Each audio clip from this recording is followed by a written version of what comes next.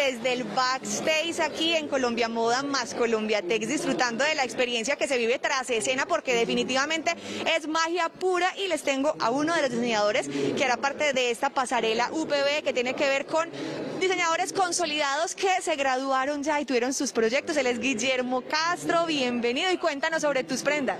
Listo, mira, es una colección, se llama María, es inspirada en mi mamá, eh, mi mamá es una mujer súper apasionada de la moda, la marca es una marca eh, blanco, nosotros trabajamos el blanco 100%, es una marca ruisor, hay elementos demasiado elaborados hechos a mano, el ojalillo, el color blanco siempre pues, es como representativo de nosotros y bueno, ahí ven como una, una boca de lo que va a ser Ruisor 2022. Y además de Guillermo también está Rafael Bernal que fue el encargado de seleccionar a cada uno de los diseñadores que veremos en esta pasarela que tendrá mucha variedad, hemos visto diferentes colores, ustedes están viendo en pantalla en estos momentos el blanco, pero aquí hay negro, hay rojo, es decir, hay explosión. Alberto Bernal, coordinador de esta pasarela, cuéntanos a grandes rasgos qué vamos a ver a continuación. Sí, mírame, la pasarela de UPB es la celebración de los 20 años de la Facultad de Diseño de Vestuario con 21 diseñadores. En ese juego estamos hablando de 2021, 20 años, 21 diseñadores ya reconocidos en el mercado.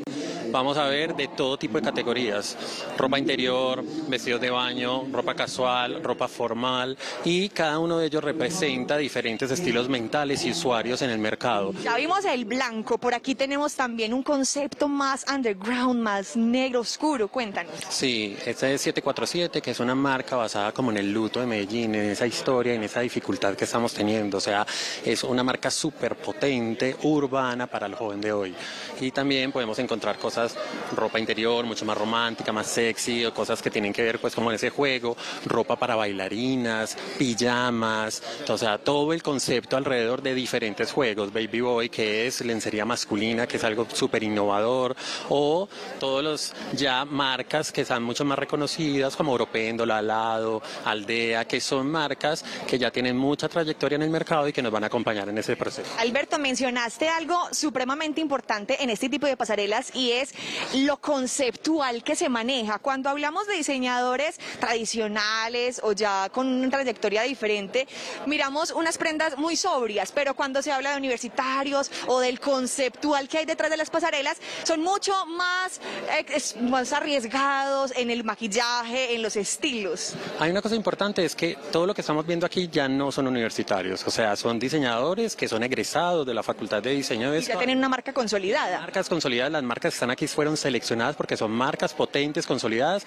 que igual tienen una carga conceptual y de, de desarrollo y de pensamiento crítico, o sea, muy, muy coordinado con la realidad del mercado, ¿cierto? Entonces sí, sí hay esa parte desde el punto de vista de conceptualización, pero son producto comercial netamente y también es la experiencia que tienes tú, porque me comentabas que fuiste profesor de muchos de ellos, es decir, que hay un orgullo, hay mucho ADN de Alberto en cada una de las marcas que veremos en esta pasarela. Sí, mírame, el ejercicio es un ejercicio no solamente mío, somos un staff de docentes que hemos acompañado todos estos proyectos, muchos de estos proyectos nacieron académicamente en la universidad, pero se han venido desarrollando en el mercado.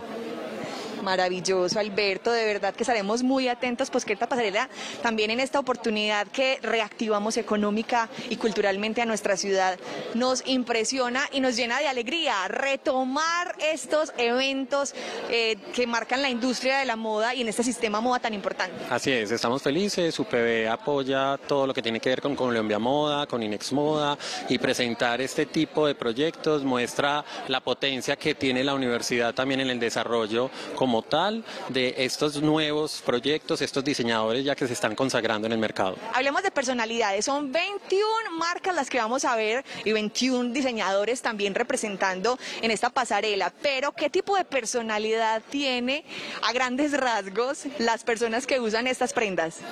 Cada uno tiene un ADN de marca y un lenguaje. Sus estilos de consumidor son muy diferentes. Entonces, según el tipo de consumidor, cuando estamos viendo un asunto súper urbano o un asunto casual suave o estamos viendo un asunto más resort o estamos viendo un asunto más de fiesta, cada situación de uso y cada momento va cambiando como con la historia de cada uno de los diseñadores. ¿Y cuál es su favorito? Ay, difícil, difícil de mencionar el favorito, ¿cierto?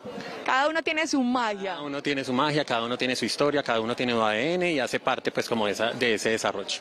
Lo que logro ver es que hay unos muy románticos, muy clásicos, muy elegantes y hay otros también que tienen la oportunidad de ser mucho más arriesgados en ese estilo y de alguna manera marca una personalidad un poco más fuerte. Sí, claro, o sea, cada uno representa un lenguaje completamente diferente y así vamos haciendo como todo el desarrollo de las marcas.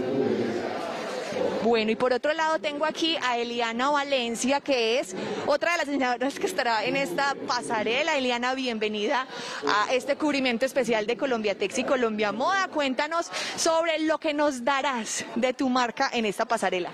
Bueno, no, pues más que todo vestidos, vestidos largos es lo que más hacemos, eh, detalles, eh, mucho estampado y no, pues todo está lleno de detalles.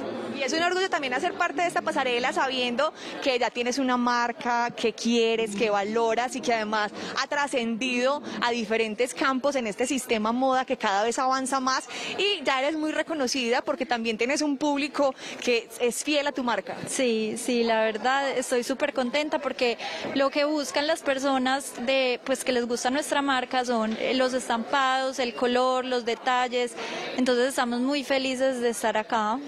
Bueno, Eliana, muchísimas gracias y mucha suerte en esta pasarela. Esto es lo que vivimos tras escena, mucha emoción, mucha expectativa y además mucha variedad en cada una de las prendas, porque como pudieron observar son bastante diferentes. Por ahora los dejo con Bea para que continúen con más información y estaremos atentos a esta pasarela Eh, que claro. tendrá la oportunidad de realizarse en este primer día de Colombia Moda oficialmente.